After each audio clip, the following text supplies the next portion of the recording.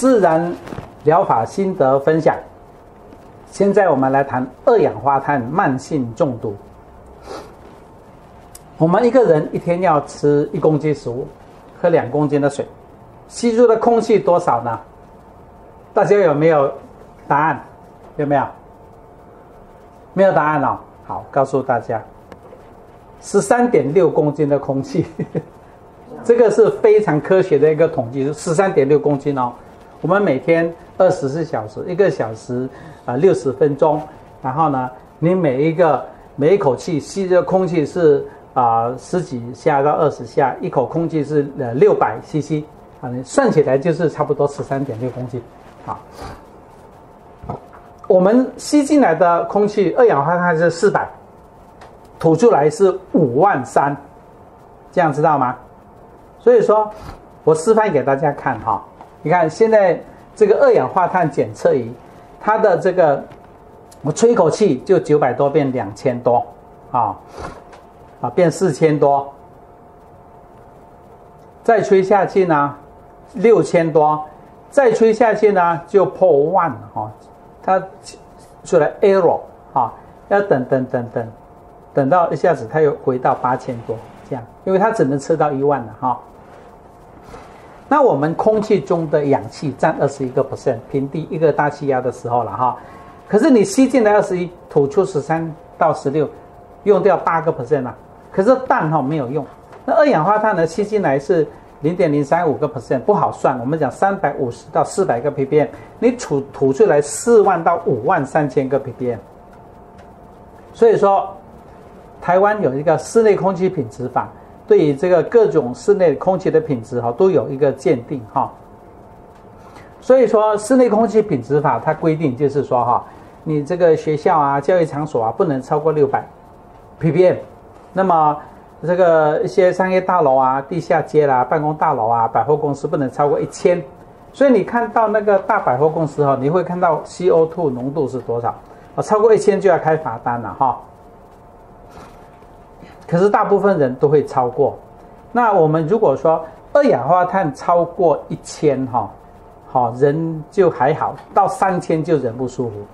我以前曾经有一次也是二氧化碳中毒哈，我中毒的经验是这样，到一个医学中心的一个呃开一个会哈，我去一个演讲，然后呢，我带我的二氧化碳检测仪在身上，一看哇三千五。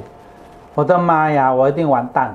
啊，讲完以后呢，就回到诊所想要看诊，我发现我变笨了，讲话讲不出来，手指也不听使唤，我想完蛋了，赶快睡一觉，吸个啊氢氧气，哎，就好多了。这样，所以说二氧化碳浓度过高哈，人会非常的不舒服。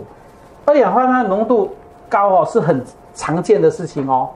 如果你蒙头睡觉，把头盖住，或者没有开窗睡觉，或者坐车子，你的车子开循环，没有开送风，所以每一次哈，你的二氧化碳都会到五千六千。以前我买了一台高压氧机也是，进去十分钟，二氧化碳到五千。可是因为有氧气，所以人也不会怎么样，不会暂时不会怎么样，长期是不行的。所以我每次坐计程车哈，我都看那个司机偷偷看一下。司机说：“你在看什么？”我是看那个，它是送风还是循环？看循环，我就偷偷按一下，把那个门打开，司机就把它关起来。我就按一下，我说：“先生，我本身有有有有恐慌症，拜托开一下哈。”他就会开了。这样好，就是这样。所以二氧化碳很重要哦。二氧化碳会中毒呢，你们知道吗？好，应该二氧化碳急性中毒跟慢性中毒。二氧化碳哈，烧炭自杀，除了二氧化碳，一氧化碳就是死亡的原因嘛。好，吃了安眠药，喝了酒就睡了。二氧化碳高也不知道，一氧化碳高也不知道。还有非洲麦克隆火山哈，尼奥斯湖，尼尼奥斯火山湖有一次山崩，把那个几几千年累积的二氧化碳哈，二氧化碳比空比水重嘛哈，在水里面。水底下，那个挤出来，那个就一片云这样飘起来，好美的云哦，好像我们看那个啊舞蹈呃呃呃呃电视剧那个什么舞台剧那个二氧化碳干冰有没有飘过来好美？结果所到之处人死光光。为什么后来知道这个事情呢？因为有一个人没死，他是跟车卡车跟车的司机，他站在卡车上面，因为二氧化碳大概是一公尺多嘛，他站得高高就没有。他说一个很美的云飘过来，人就死光了，就是 CO2 narcosis 二氧化碳麻醉，你完全没有痛苦就死了，就这样。后来死了好几千人。所以二氧化碳长期过高会导致慢性中毒啊！好，紧闭窗门睡觉，空气不流通，吸入自己的废气，啊，办公室里面只有冷气没有换气。我这个干非常多哦，我看哈不下三五百例啊。怎么说呢？你不要以为二氧化碳中毒是很少见的疾病，你们多注意一下，几乎都是。来我这边看的大概有一半是二氧化碳慢性中毒。曾经有一个小孩子哦，不知道为什么，他就觉得家人说他注意力不集中，觉得变笨了，本来很活泼的。结果我就问我说：“你睡觉有没有开窗？”他们说没有啊，他就不喜欢开窗啊，不喜欢声音啊，还把那个门缝都贴起来，一个小房间。哦，我就知道他老婆低到不行。好，不会是正常的脑，不是这个小孩子正常的脑脑波。后来，当然做了一般例行的检查哦，开窗，后来就好了，整个就好好起来，好，脑波就变正常。还有一次，有一个国立大学的学生哈，他爸爸妈妈四十多岁带他来，我看到老婆，爸爸妈妈也有做，看完哈，我就铁口直断，我说你们家一定都没开窗，因为全部老婆一片黑暗的，你知道吗？他说：“王医生，你怎么知道？我们家就从来不开窗啦，外面很多 PM 二点五啊。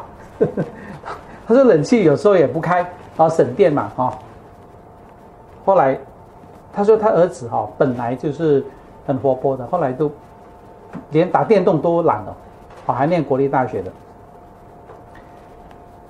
后来他整个也好了，这样。后来没有来复诊了，所以我就没有他的脑波可以看。这样他说整个都好了，哦，变成很很正常。所以二氧化碳哈，事实上它在身体里面会变成碳酸。我们做汽水就是灌二氧化碳嘛，对不对？啊，这个有这个字有点走掉了，灌到不同电脑。酸根，所以二氧化碳叫酸性饮料啊。如果二氧化碳过高呢，我们脑细胞就会停摆。好，二氧化碳过高，脑细胞会死亡，没有东西吃嘛，哈，身体太酸。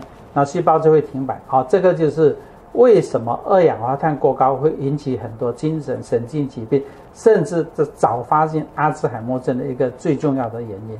好，我想广义性早发现失智症，各位不要以为哈，只有老人家才会有失智症哦，阿兹海默症，很多人零岁到一百岁都有可能。像这个十九岁的女生，正常的脑波，啊，这个正常的脑波是这样。我一看，哇，这个脑波哈，很漂亮哦，哦，很漂亮，好。我问妈妈说：“你你也很聪明哈？”他妈妈笑笑不答，啊，不回答。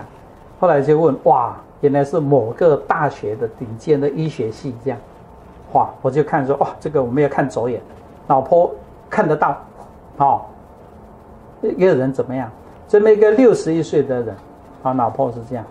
其实我前面一章有说过，阿兹海默症，出门就会迷路了哈。这个是我的老婆，我的老婆是这样。其实我常常拿我的老婆吓人哈，我的老婆哈，冥想观想吐纳的时候有没有？哦，可以瞬间启动啊！天人合一波是吧？七点八三叫天人合一波。你看这个人哈，刚才有一个人哈，就是我我后来秀，刚才可能还没有提到，就是说有一个人，他就是四十多岁，比我小二十二十岁，四十四四十岁岁左右。结果他老婆这样，我就看我说你老婆怎么会这样？他觉得自我感觉良好，好像也没有什么不舒服，没有什么症状。我这一次问问不出所以然。我说你会把头盖起来睡觉吗？他说会呀。我说干什么会这样？他说我怕光啊，怕声音啊，蒙头睡觉就会这样。好，下面是我的老婆。所以说我们哈，这个自然医学里面哈，你一定要注意人有没有盖头睡觉。我曾经看到有一个，我如果问问你有没有。把头盖起来睡觉，十次有九个吻。如果看老婆嘛，有一次有一个美国回来的，我一看也是老婆很低。我说：“哎，妹妹会不会盖头睡觉？因为她可能受过一些创伤了哈，就很很很喜欢把躲在被子里面很有安全感，就是精神分裂。好，另外有一个哈，有一个人也很可怜的哈。我一看老婆哇，也是这样。我没有问他有没有把头蒙起来睡觉。我说你为什么要躲在被子里面睡觉？我是很很有把握的问。他说没有安全感。我说那你妈妈没有说不好这样吗？他说我妈妈不在家。我说那你爸爸呢？他说我跟阿公阿妈住，就是父母亲离婚嘛，没安全感就躲在被子里面睡觉，这样也是蛮可怜的哈。很多都是这样。嗯，有时候我有些小孩子很喜欢把头蒙住睡觉。我说你就去宠物店哈，买一个那个狗套头的那个有没有？给他戴着睡觉，那不然怎么办？就是爱盖头，爱盖盖头盖住啊。所以细胞内酸中毒哈，酸二氧化碳就会产生碳酸嘛哈，我们身体细胞就会变酸哈啊，整个身体就会变酸啊，大概是这样。所以二氧化碳哦，大家不要小看哦，它是很多疾病的源头。可是我们现在公共卫生并不大管，啊啊，你去看那个火车也是过高，啊啊，高铁冬天也是过高，车站也都过高，基本上是三不管地带，没有人要管。餐厅也过高，啊，如果你不是一直在里面，可能还好；如果睡一整天就有问题。这样，那下面呢，我们就看了一个精神神经疾病跟睡眠障。